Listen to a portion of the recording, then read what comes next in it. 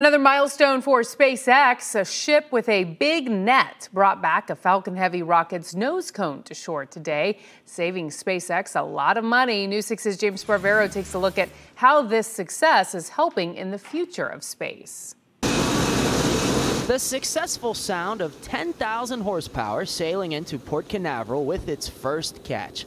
SpaceX now calls the 205 footer Go Miss Tree, and today she's carrying a rocket nose cone, the Falcon Heavy fairing under the blue tarp.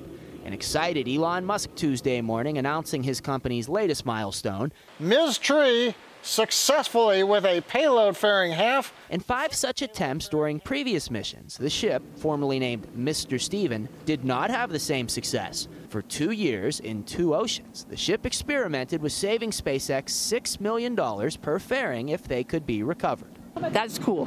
That is cool. Today's return to port, also exciting news for crowds watching from across the channel.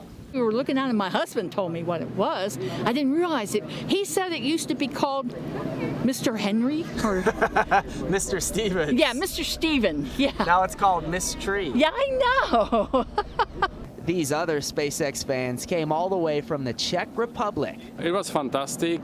Falcon Heavy Tuesday morning was Miroslav's first rocket launch. Wow. The sonic boom's his favorite part. Miroslav says he also wanted to see Miss Tree and the nose cone. We feel that SpaceX is leading this trend as to be most innovative uh, company in this in this field. And this afternoon, we expect SpaceX to move the nose cone off of the ship whenever the crews are ready. At Port Canaveral, I'm James Sparvero, getting Results News 6.